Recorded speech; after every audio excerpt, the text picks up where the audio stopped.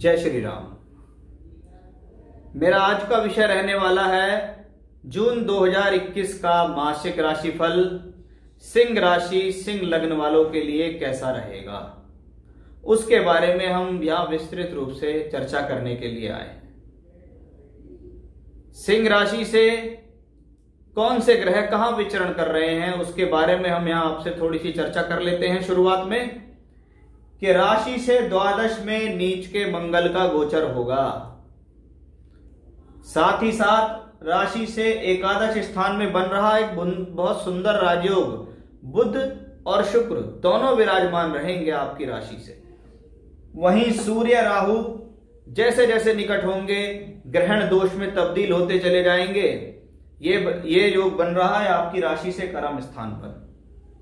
वहीं बृहस्पति आपकी राशि से सप्तम होंगे और शनि आपकी राशि से छठे चलते हुए वक्री भी हो जाएँगे। तो उन सब की स्थितियों के बारे में मैं आपसे चर्चा करने वाला हूँ। कुंडली के अंदर जब भी कोई ग्रह, दशा, गोचर स्थितियाँ होती हैं, वो स्थिर होती हैं। उन स्थितियों के फल आपको कब मिलते हैं? जब ग्रह गोचर में भ्रमण करता है। यानी कुंडली में अगर शनि फिक्स है तो शनि कैसे फल देगा, वो गोचर पे निर्भर करेगा। कि आपका ग्रह गोचर कौन से स्थान पे चल के आपको क्या स्थिति देने वाला है? क्योंकि तो गोचर का काम संदेशवाहक का होता है। अब वो संदेशवाहक आपके लिए शुभ सूचना ला रहा है या अशुभ सूचना ला रहा है, वो सब गोचर पे निर्भर करता है। कुंडली के अंदर अशुभ दशाएँ हैं, अशुभ गोचर आ गया तो प्रॉब्लम है। शुभ दशाएँ हैं, शुभ गोचर आ गया तो अच्छा है। और दशाएँ शुभ हो, गोचर अशुभ हो तो कुछ मिला जुला फल आपको मिल जाता है। तो उसी के लिए मैं शुरुआत करता हूँ कि सिंह राशि, सिंह लगन के लिए कौन से ग्रह की स्थितियाँ जून के महीने में आपको प्रभावित करने वाली हैं, जिसमें सबसे पहले मैं बात करूँगा ग्रहण दोष के बारे में, कि 26 मई 2021 और 10 जून 2021 को ग्रहण पड़ेगा। एक ग्रहण चंद्र ग्रहण होगा, दूसरा ग्रहण सूर्य ग्रहण वो दोनों ग्रहण आपके कर्म भाव और चौथे को प्रभावित करेंगे। यानी आपकी राशि आपके लग्न से चौथे और दशम के ऊपर ग्रहण पड़ने वाला है। जहाँ दशम भाव पद, प्रतिष्ठा, मान, सम्मान प्रोफेशनल लाइफ के लिए जाना जाता है, उस पर जब ग्रहण पड़े तो व्यक्ति को उनसे संबंधित चिंताएँ होती हैं कि मेरी पद, प्रतिष्ठा में कोई समस्या तो नहीं आ जाएगी। भीतरी रूप से उसे अपने कार्य क्षेत्र में चिंताएँ होने लगती हैं। वो घबरा जाता है कि मेरा कार्य आगे पता नहीं चलेगा नहीं चलेगा। कोई बहुत बड़ी परेशानी तो नहीं आने वाली है। मन के अंदर चिंतन परेशानियों की विषय उठते रहेंगे, वैसा इस ग्रहण के दौरान आपको दिखाई देगा। साथ ही साथ राशि से चतुर्थ भी होगा तो मन के अंदर चिंताएँ होंगी। परिवार के अंदर सुख शांति का अभाव होने की भी स्थितियाँ दिखाई देती हैं। आपकी तो राशि के मालिक है सूर्य। मेहनत में तो आप अपनी कमी नहीं छोड़ रहे, योजनाओं में आप अपनी कमी नहीं छोड़ रहे, लेकिन कहीं ये ग्रहण आपको मानसिक चिंता के कारण बीमार ना कर दे, आपको मानसिक तनाव ना दे दे, क्योंकि ग्रहण तो पड़ेगा, और वो ग्रहण जब सूर्य को प्रभावित करेगा तो सूर्य आत्मा के कारक के साथ साथ आपकी राशि लगने के मालिक भी हैं तो इसका असर स्वास्थ्य पर भी आ सकता है। लेकिन मेरी आप बात ध्यान रखिएगा कि ग्रहण आता है और ग्रहण चला जाता है। यह स्थिति 30, 40, 50 दिनों तक मैक्सिमम रहती है। लेकिन उसके बाद अवश्य ही अच्छे गोचर की ग्रह स्थिति होगी। तो आप अपने स्थिति को संभाल कर रखें। खराब स्थिति है कुछ समय के लिए आई है चली जाएगी। लेकिन वो हर समय स्थिति ऐसी नहीं होगी क्योंकि ये बात पक्की है जिस भाव पर ग्रहण पड़ता है उस भाव से संबंधित चिंताओं को बढ़ा देता है। और वो चिंता आपकी प्रोफेशनल लाइफ को लेकर आपकी होगी इसमें कोई भी संदेह नहीं है। तो थोड़ा सा सचेत रहिएगा। अब बात करूँगा मैं राशि से एकादश भाव में चले हुए बुद्ध शुक्र के योग की, कि एकादश का मालिक एकादश में बैठे, लाभ देने के लिए तैयार है। सोर्स ऑफ़ इनकम देने के लिए तैयार है, आप बिल्कुल भी ना घबराएँ। हो सकता है कुछ समय के लिए आपका लाभ रुक जाए, लेकिन कोई बात नहीं है, वो लाभ आपका बिल्कुल वापस आएगा, आपका किसी प्रकार से कोई नुकसान नहीं होगा, आपका कोई पैसा नहीं मरने वाला। आप सिर्फ़ अपनी योजनाओं पर पूर्ण तरीके से कार्य करते रहिएगा, वही आपके लिए लाभप्रद होने वाला है। नहीं तो आपकी जल्दबाजी, आपकी चिंता की वजह से आप अपने काम में अपना पूर्ण मन नहीं लगा पाएँगे।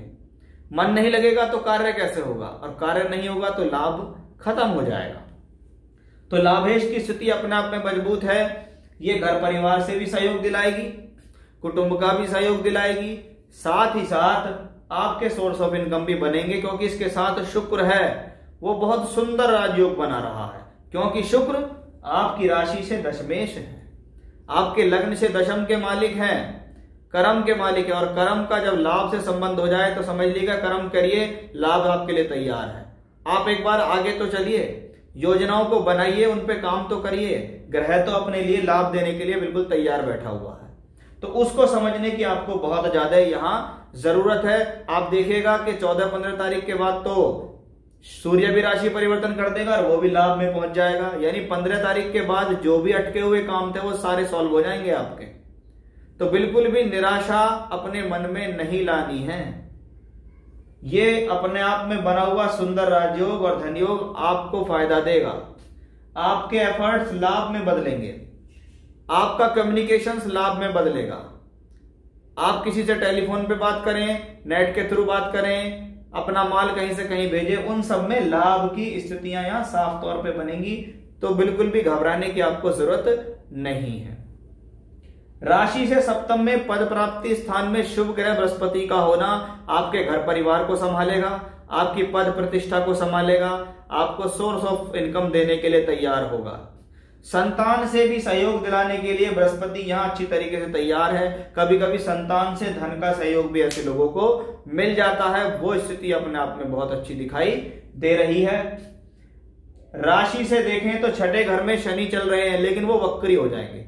वक्री ग्रह थोड़ा सा हेल्थ के लिए चिंता देगा, लेकिन आपको साहस बराबर देगा। शत्रुओं को हराएगा। आपको चिंता की कोई बात नहीं है, आप बिल्कुल भी ना घबराएँ। लेकिन हेल्थ के लिए आप अपना थोड़ा सा अवश्य ध्यान रखें। शनिदेव आपके लिए बिल्कुल तैयार हैं, क्योंकि इस ग्रह की स्थिति सिर्फ़ इतना मूवमेंट होगा कि यह ग्रह वक्री होगा। वक्री ग्रह थोड़ा सा डिले कर सकता है किसी फल में, लेकिन स्वराशि में है, इनको कोई प्रॉब्लम नहीं है। अब अचली प्रॉब्लम क्या है? राशि से द्वादश में चल रहे हुए नीच के मंगल की, कि ये नीच का मंगल आपको होपलेस कर सकता है। आपको जल्दबाज बना सकता है। आपके विचारों में फटाफट आदान प्रदान करेगा, लेकिन नहीं नहीं भी गलत हो जाएगा। कुछ गलत होने वाला है। मैं घबरा रहा हूँ, कहीं नुकसान ना हो जाए, लेकिन ऐसा कुछ भी नहीं होगा। लेकिन अगर आपने अपना पेशेंस खोया, आप जल्दबाज हुए तो उससे कई सारे नुकसान होंगे जो मैं आपको बता रहा हूँ। पहला नुकसान, आपकी हेल्थ इश्यूज़ बढ़ेंगे, आपके खर्च बढ़ जाएँगे वहीं शनि के ऊपर दृष्टि आ रही है, छठे घर पर इसकी, आप बेवजह अपने शत्रुओं को बना लेंगे। आप कहीं एक्स्ट्रा स्पोकन हो गए, ज़्यादा बोल दिया, आपने अपने शत्रुओं बना लिए। तो ये प्रॉब्लम आपके साथ आ सकती है। वहीं ये मंगल आपके सप्तम भाव और उस पर बैठे हुए ग्रह बृहस्पति पर भी दृष्टि देगा। धन कारक बृहस्पति हैं, और यहाँ तो बुद्धि के स्वामी भी हैं। तो बुद्धि जोश में आ गई, आक्रोश में आ गई, आपने गलत निर्णय ले लिया। आप छटपटा गए, आपको लॉस हो गया।